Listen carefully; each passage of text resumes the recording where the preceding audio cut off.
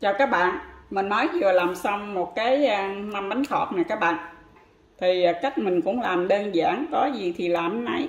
Cái bánh thì nó vàng ươm ha, mà nó xốp. Thịt ở trong thì nó mềm á các bạn. Ăn rất là ngon luôn nha. Rồi nếu như bạn nào thích thì hãy vô bếp làm cùng mình nha.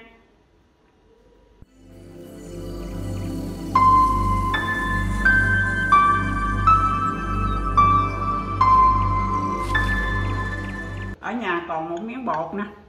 Ở đây 200 gram rồi mình còn một ít cơm nguội. Một ít đậu xanh, mình nấu lên ha các bạn. Mình sẽ lấy cái tôm khô để mình làm nha. Nước cốt dừa thì hôm trước mình mua nè. Mình để trong tủ lạnh, khoảng 500 ml đó các bạn. Còn à, thịt thì mình à, xay, mình để dành ăn đó mà. Thì giờ mình lấy ra mình làm nhân ha ở đây mình sử dụng hành nè các bạn. Mà hành này là hành lá của cái củ hành đó nha. Chứ hành cộng bữa nay là hết rồi mình không có đi chợ hết rồi. Ở đây mình có tỏi nè với ớt đó các bạn. Rồi bây giờ bắt đầu mình cùng làm nha. Bây giờ mình sẽ cho cái um, đậu xanh nè các bạn. Cơm nguội nè.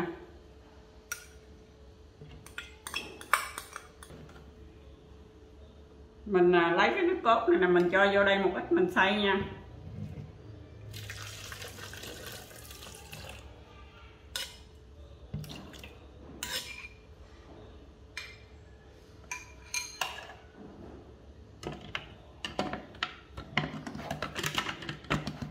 Rồi, bây giờ mình đem đi xay.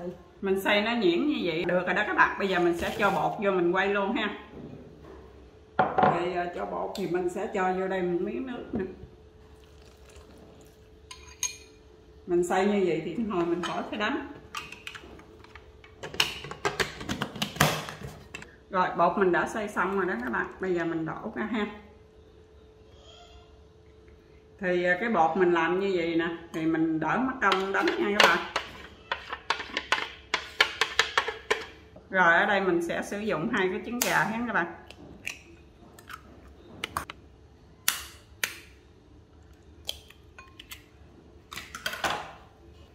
trứng này mình đánh lên nha. Mình đánh lên cho nó tan ra.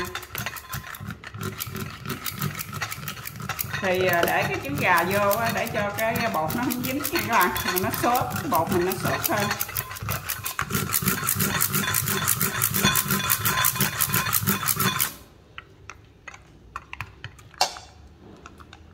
rồi mình sẽ cho cái trứng gà vô đây luôn nè.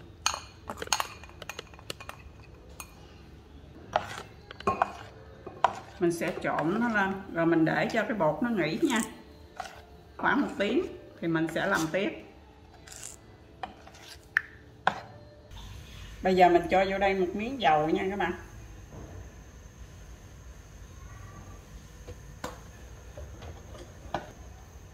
Đợi cho cái à, chảo nó nóng nè, mình sẽ cho tỏi vô nè, với cái gốc hành còn miếng gốc hành mình cho vô, mình phi cho nó thơm ha.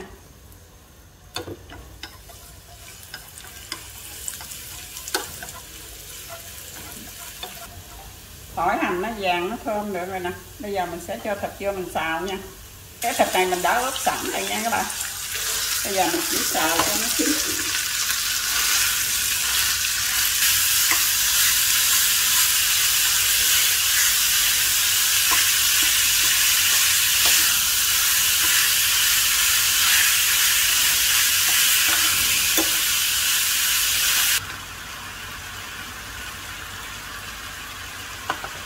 Ừ. rồi, cái phần thịt như vậy được rồi ha các bạn.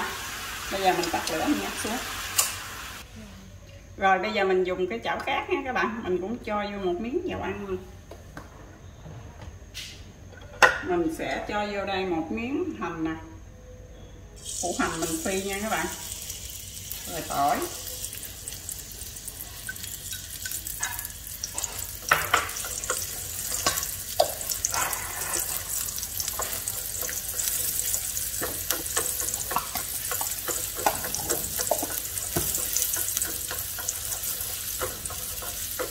Mình cũng phi củ hành với tỏi cho nó thơm ha.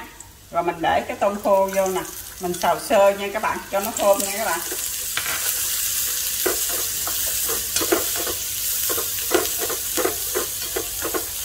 Bây giờ như vậy là xong nha các bạn. Mình chỉ xào sơ để cho cái tôm khô nó thơm lên ha.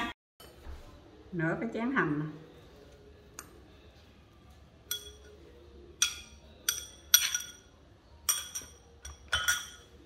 một muỗng cà phê bột nghệ ha các bạn. Cái này mình để cho mình thăm chừng nha. Nếu mà nghệ mà để nhiều thì sợ nó bị đắng. Một muỗng cà phê bột nêm. Mình sẽ dằn vô đây nửa muỗng cà phê muối nha. Dằn một muỗng cà phê đường nha các bạn. Đường mà để nhiều quá nó bị khét à cho vô một miếng nước mắm nó mới thơm. Một muỗng canh nha.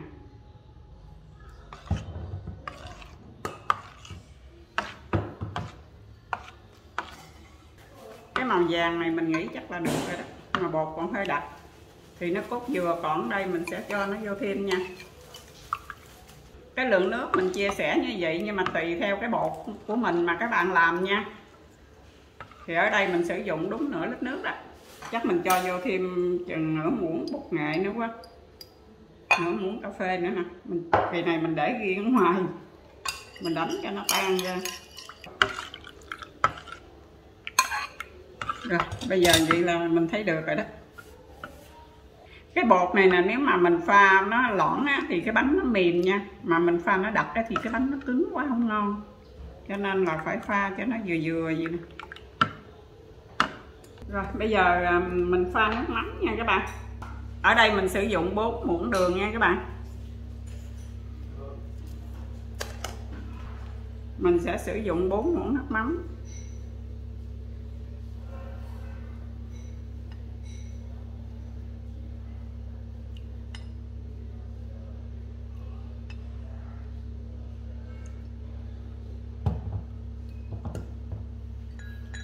Nước lạnh thì mình sẽ sử dụng 6 muỗng nha.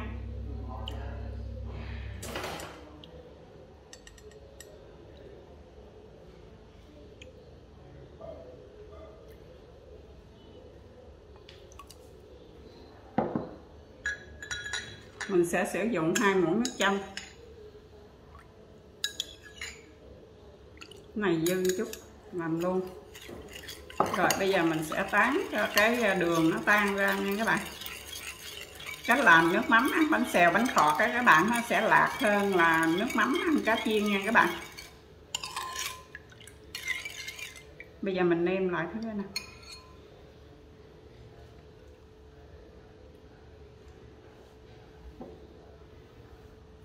Mình sẽ cho thêm hai muỗng nước lọc nữa đi vậy là mình nói lại nha 4 muỗng đường 4 muỗng nước mắm 8 muỗng nước lạnh và hai muỗng chanh. Bây giờ mình sẽ cho tỏi ớt vô. Rồi như vậy là cái nước mắm của mình đã xong nha các bạn. Bây giờ để biết là cái, cái sửng của mình nó nóng hay chưa ha? Mình thử cái miếng này rồi, như vậy là được rồi đó. Bây giờ mình sẽ đổ.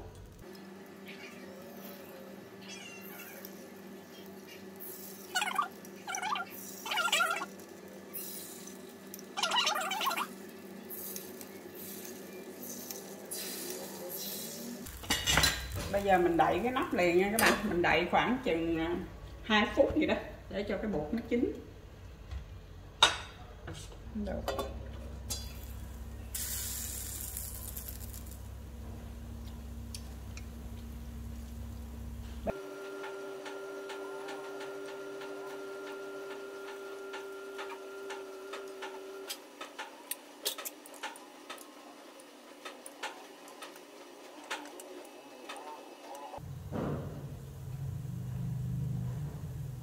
có tép không để cái con cái con tép lên cái là gầu này không có. Mình phải để tăng khô lên, mình phải để từ từ như thế này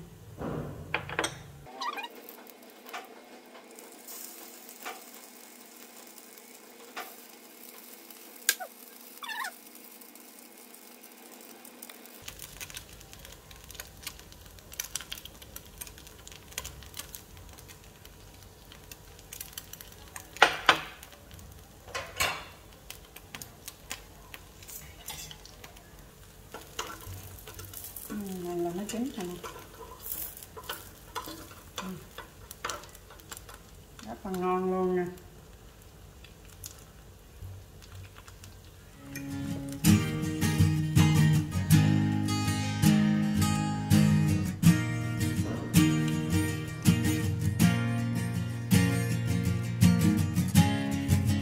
Rồi cái phần chia sẻ về cách làm bánh cọt của mình đến đây đã xong rồi đó các bạn nếu như các bạn thích thì các bạn hãy like và share cho mọi người cùng xem nha. Nhớ subscribe để ủng hộ cái kênh của mình ha. Chân thành cảm ơn các bạn.